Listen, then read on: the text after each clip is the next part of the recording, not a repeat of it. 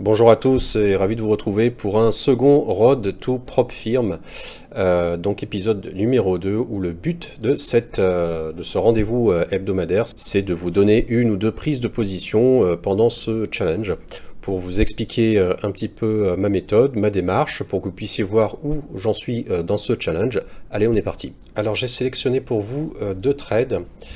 Euh, de trades que j'ai pris, j'ai pris le, la journée du 28, voilà. Donc euh, parce que cette semaine, en fait, il faut savoir que c'est une semaine assez difficile. Euh, même la semaine dernière, en fait, on a eu une, j'ai eu quelques bonnes journées et, globalement, ça a été, ça a été quand même un combat. Vous voyez, par exemple, quand le prix part comme ça, donc là, bon, c'est le soir, on est en session américaine, peut-être qu'il y a eu des news. ici encore, je le rappelle, vous êtes sur mon créneau horaire à moi. Euh, donc c'est deux heures de plus qu'en France. Ici, vous voyez, vous avez une touche magnifique, là aussi, mais entre les deux, il n'y a absolument aucun travail. Et ça, nous, en tant que scalper, on n'est pas des day traders.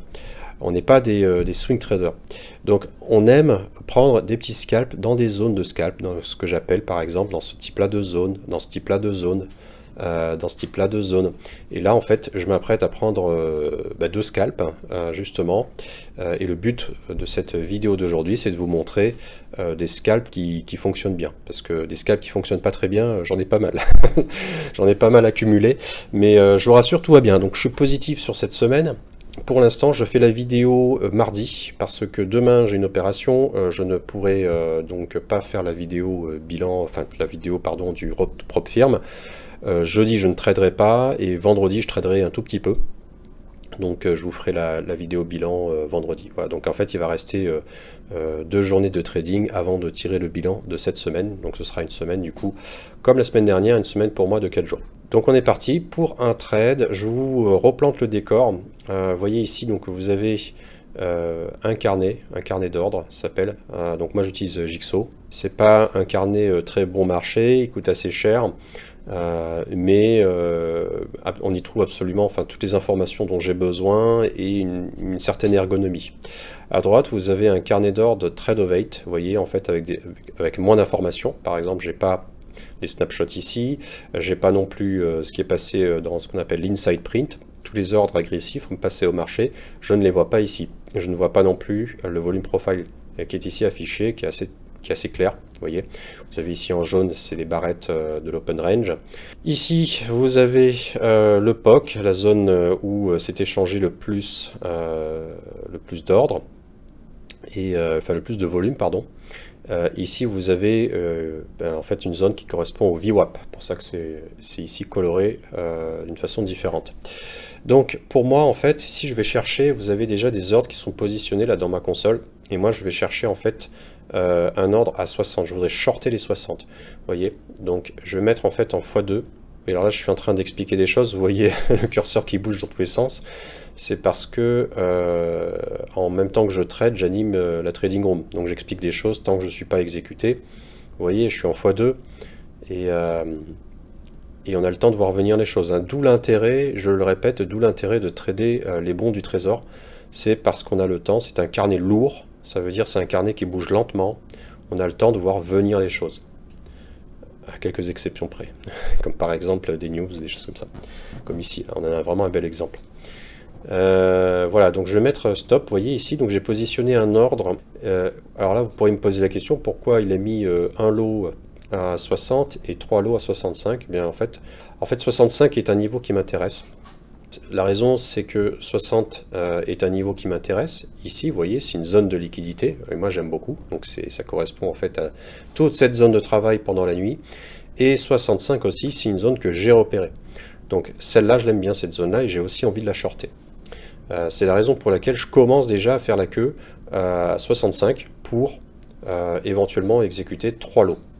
Le 60 me plaît un petit peu moins, donc j'ai décidé de prendre un seul lot. On est dans un contexte de rebond donc on va voir comment ça se passe. Voilà, donc là j'ai été exécuté. Vous voyez, je suis rentré dans le marché. Le 60, j'ai été pris. Et là, en fait, je vais être très vigilant pour sortir de ce trade, c'est-à-dire voir si euh, à ce niveau-là, on recharge. Comme le niveau était assez faible, on recharge pas très très vite. J'ai décidé de prendre qu'un tick sur ce trade-là. Et donc, vous voyez, on va mettre stop. Donc là, on voit que la tendance s'inverse. Donc là, bon, là, c'est ma prise de position, mais euh, le, beau carnet qu'il faut regarder, c'est ici, parce qu'on a plus d'informations. Euh, donc on voit qu'en fait, j'ai 900 lots euh, à l'ASC, à l'offre, donc ici, 600 lots. Donc le rapport s'est inversé. Je suis rentré, et en fait, les, les vendeurs deviennent majoritaires. On regarde comment ça se déroule.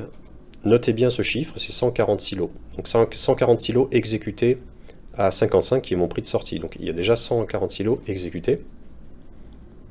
D'ailleurs, je, je c'est pas forcément depuis mon trade. Hein. Là, j'ai pas remis à zéro l'inside print. c'est juste qu'il faut retenir ce chiffre pour voir 150, 155.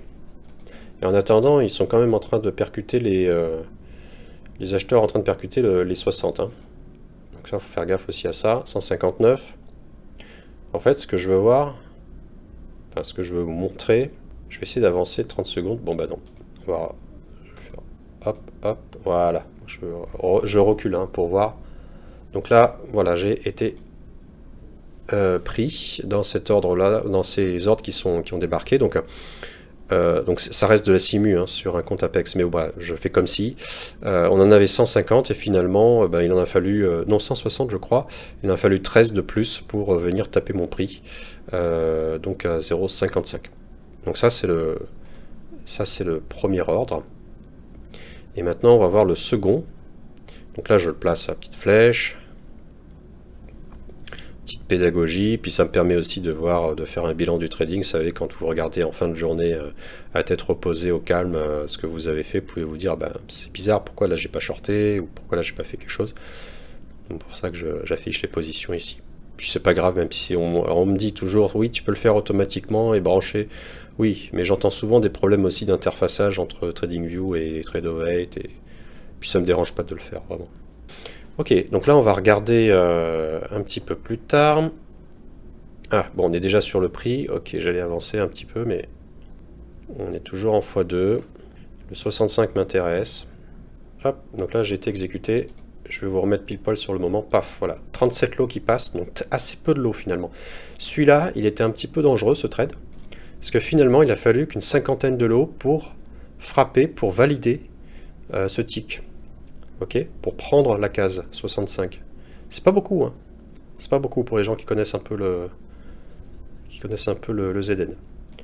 Donc, euh, dans ces cas-là, on est extrêmement prudent. Donc là, moi, j'ai frappé à 65. Je veux sortir alors, j'ai déjà sorti en fait un lot. C'est terrible. Oui, voilà. Donc, il est là. Hop. Donc, il y a un lot. Je remets la lecture. Donc, voilà. Là, maintenant, paf, vous voyez, j'ai pris déjà un tick. Je vais remettre ici, vous voyez. Là, il y avait 82 lots tout de suite qui sont passés. En fait, ça s'est inversé assez rapidement. On a eu un déferlement de vendeurs euh, qui sont venus défendre le, niveau des 60. Donc 110-60. Je donne juste les, derniers, les derniers chiffres.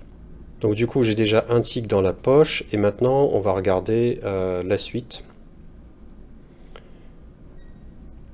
Donc 228 lots, c'est ce que j'étais en train d'expliquer ça. J'efface l'inside print pour voir ce qui se passe. Et euh, je suis très vigilant pour sortir de mon trade, vous voyez. J'ai toujours la souris là sur le niveau. Euh, soit je prends un tick, donc 15 dollars, soit deux ticks, ici. Donc l'idée, j'ai pris déjà 15 dollars, l'idée c'est d'en prendre 30 donc ça fera un truc, euh, ça fera 45 dollars du coup de prix. Donc on va voir si j'y arrive. 383 lots, donc là ça se passe plutôt bien. C'est-à-dire qu'en fait, on vient massivement frapper le niveau des 60. En tout cas, beaucoup plus que le niveau des 100. Et en plus, à l'offre, on est supérieur. On a plus de lots à l'offre qu'au bid. Donc c'est parfait. Maintenant, on est en train de valider le nouveau niveau à 55. On a déjà pris un tick. Là, en fait, je pourrais sortir euh, de mon trade euh, avec déjà un tick de gain encore. J'ai toujours un lot dans le, dans le, dans le marché, pardon. Et là, maintenant, je vais regarder, euh, je vais regarder comment ça se passe. Je rappelle, hein, le carnet, c'est toujours l'instantanéité. On n'a aucune idée de comment ça va se passer dans 5 minutes. Je n'en ai aucune idée strictement. Est-ce que ça a monté, descendre Peu importe. Voilà, j'ai été exécuté. 253 lots. Euh, je ne sais pas si je regarde un peu avant, voilà 37, vous voyez, j'avais 37 lots et 255 euh, d'un coup qui passent, euh, qui, exécute, qui exécute du coup mon ordre. il y a toujours un petit souci avec ça. Voilà. Vous voyez, de 30 on passe à 250 environ. Et ça fait du coup un beau trade. Donc là, si on fait le bilan sur euh, ces deux petits trades d'affilée, bah, finalement on a fait euh, un trade à 15 dollars et euh, un trade à, 45 dollars. Donc ça fait 45, 55, 60 dollars en tout d'engranger sur deux petites opérations. Pas trop compliqué en termes d'analyse marché. Là je vous montre des trades assez simples. Il y a plusieurs façons de traiter avec le carnet. Mais là vous voyez deux trades assez simples euh, et, qui se passe bien. Des fois, il y a des trades simples qui se passent pas très bien, mais là, ça se passe plutôt bien. Alors, si on fait un petit bilan de marché euh, à mi-étape sur cette semaine, euh, c'est un marché qui est lundi, par exemple, on a eu assez peu de volume. donc, c'est un marché du coup assez piégeux. Il enfin, je dirais que sur d'une demi-heure en demi-heure, en fait, on peut avoir suffisamment de volume. mais globalement, ce qui se déverse sur une journée de trading est très peu, très faible. Donc, euh, dans ces, euh, en fait, sur 2024, c'est une des journées euh, records en termes du peu de volume qu'on a eu lundi sur le marché du ZN. Donc c'est aussi des choses à prendre en compte dans son trading. c'est un trading qui est plus délicat, plus complexe, et en fait j'ai réadapté ma façon de trader là depuis lundi parce que le marché ne, répond plus au, même, au, même type de, stratégie que j'utilisais. En fait, il faut adapter les stratégies pour être un peu plus un peu plus sécurisé. Voilà, il ne me reste plus qu'à vous rappeler que nous avons ouvert un canal euh, Telegram. Le compte Telegram, donc le canal Telegram s'appelle Graph underscore trading. Vous avez euh, le lien direct dans la description de la vidéo. Vous avez également la trading room du matin, euh, donc celle depuis laquelle je trade. Je vous montre ces prises de position. elle est disponible, elle est là. vous avez toutes les informations sur le site. Et donc vous pouvez venir nous rejoindre, trader avec moi avec euh, écran partagé. Si jamais il y a besoin, effectivement, euh, vous, vous dites euh, je suis pas sûr que ça va me plaire, j'ai pas envie de, payer un mois, écrivez-moi et puis on peut se mettre d'accord sur, par exemple, un, essai sur une quinzaine de jours et comme ça vous vous engagez pas trop financièrement. Voilà, je vous souhaite une bonne semaine et on se retrouve vendredi pour le bilan de la semaine. Très bon trading à vous. Ciao